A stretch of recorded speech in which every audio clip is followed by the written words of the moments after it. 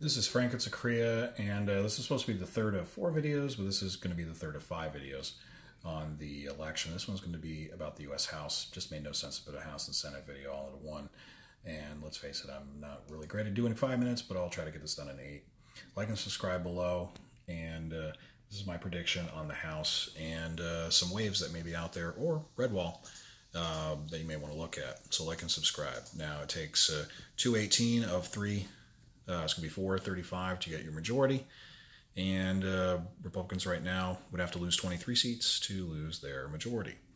Um, I went to Real Clear Politics, and they put 119 uh, Republicans as being safe, likely, or lean, and 204 on the Democrats being safe, likely, and lean. I looked at the likelies and leans and said, are there anything there that they have wrong? On the Republican side, they look at two pickups. One is Pennsylvania, uh, Pennsylvania 14. Now remember, Pennsylvania redistricted all of their seats, and um, because of that, yeah, 14 will probably go Republican plus one, but on the other end, five and eight are likely to go Democrat, and they put uh, Pennsylvania 7 also in the lean category. I don't have an issue with any of those. The other one is Minnesota, and I'll get to that one a little bit, a little bit uh, later. Minnesota 8.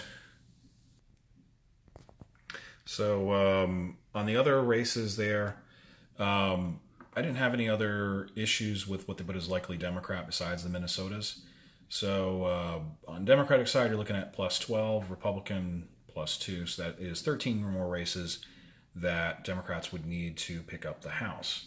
So I'm going to start with Minnesota because that's either going to be the blue wall or a, uh, there's going to be red wall or blue wave. Um, Minnesota has eight congressional uh, districts.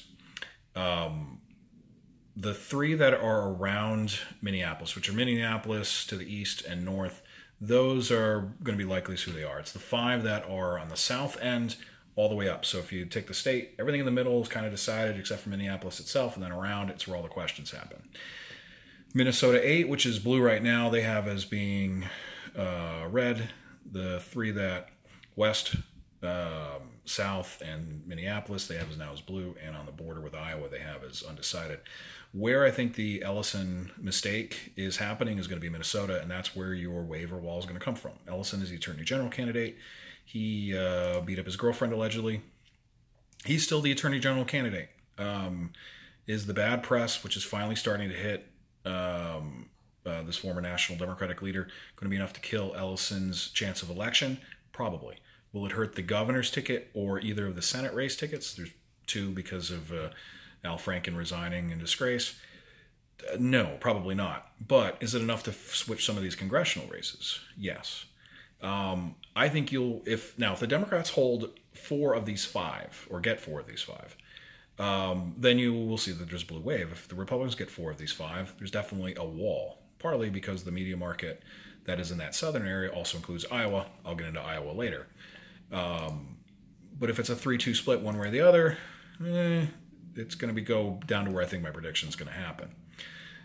Fading over to Iowa, I right now is 3 to 1 Republican, and I think it's going to go 3 to 1 Democrat. The only one that's going to hold is that northeastern, or excuse me, northwestern portion. Um, the uh, southeastern portion, I believe, will switch to the D's, and that's a bad sign for Republicans in 2020 with the presidential ticket. They need as many Republicans in Iowa as they can get. Now, um, Florida, I'll talk more about uh, in the Florida centric video. Uh, but the only one that they have undecided that, that I will talk about is Florida 15. That's a district that basically goes from the edge of Tampa uh, around Orlando, but doesn't actually go to Orlando proper, sort of the Disney properties. Ross Spano is the Republican. Christine uh, Carlson is the Democrat. Um, the reason why I think they put it as undecided is because of Puerto Rican vote, especially those that came over from Maria. Um, highly unlikely that those Puerto Ricans are going to break one way or the other. It looks like they're about a 50 50 split. These are not like the New Yorkers or the Florida Ricans who uh, tend to vote Democratic. Their voter registration was basically split between Republican, Democrat, and undecided, or no party. And uh, yeah, it's not going to be significantly enough to switch it into a Democratic candidate, even if some of those undecideds do lean more Democrat than Republican. Um, elsewhere on the map for political presidential history. Uh, Maine too. Now, Maine does the weird thing where each congressional district uh, gets an electoral vote instead of the state as a whole. And Maine too voted for Trump. In that election, uh, you have the incumbent, which is Bruce Poliquin, versus the Democrat Jared Golden. Um, I do think that Poliquin will lose this seat, but it will be one of those that you're counting votes late late at night. Sorry uh, to my uh, brother's child. Uh, it's going to take a while for you to win that Democratic seat, but I ultimately think Ali that you are going to get that um, reign too. Uh, elsewhere in the country, um, how much of a Democratic flop is Virginia? South of um, of uh, uh, D.C. Arlington. There's two undis- or two that they have toss-ups. I think Republicans will win neither of them. I do think that they will retain uh, the one place in uh, North Carolina. Are there any places that'll look good for Republicans? Well, um, actually, Nevada. Now, Nevada, because we don't understand geography, two is up top, then goes four, then goes Vegas, and then goes three. Again, numbering is not one of our keen things. Democrats right now control three of those four seats. Um, and the two that are where I think you could be seeing the wall would be four, which is in the middle, and three, which is on the bottom. Um, Laughlin uh, to Southern Vegas. Uh, I think that probably will be held as a Democrat, but the more Mormon four in the middle looks like it would be Republican, especially without having to have uh, to vote for um, the Bunny Ranch guy for the state uh, Senate. And uh, next door in Utah, uh, Mia Love, who is the only African American Republican female uh, in Congress, um, I believe she will hold on to the seat. Um, there are some positives. I don't think California will be as blue as it should be, um, even though there is, of course, no Republican on the Senate ticket uh, because of their weird jungle primary and the Republican governor race is governor governor candidate is pretty bad. Montana, I'll actually get into on uh, uh, when I get to the Senate video. That'll lock in tandem with who I believe will win this Senate. Um, so what are we looking at here?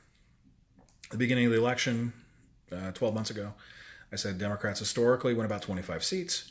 They would win between 21 and 24 this time. That has not changed. I believe that they will clear the 24 margin maybe get up as many as 27, but you're not looking at a real wave. Now, yes, Democrats will try to control the House, and I believe Nancy Pelosi will at least temporarily be the Speaker. But for those few moderates on the Republican and Democratic side who are looking down the barrel of a reelection in 2020, where depending where you are, could be very, very favorable to the president or very, very not favorable to the president, you could be seeing some of those people wanting to flip parties, especially with redistricting coming up knowing that, okay, maybe you win a quick election now and you survive uh, for 2022. That's why state races are so important. That's why the Georgia governor's race is so important. Uh, that's why, to a lesser extent, the Florida governor's race is so important. And uh, you don't know what's going to happen with redistricting with the new uh, Supreme Court, um, whether it be some revision to Maryland or Wisconsin or something else out there. So like and subscribe. But again, you're talking maybe 220 Democrat, 215 Republican. Yes, technically it's a Democratic majority. That plays out well. Democrats control gavels. That's great if you want to storm into potentially impeaching the president. Wait till I get to the Senate video. Your impeachment's probably not looking so good.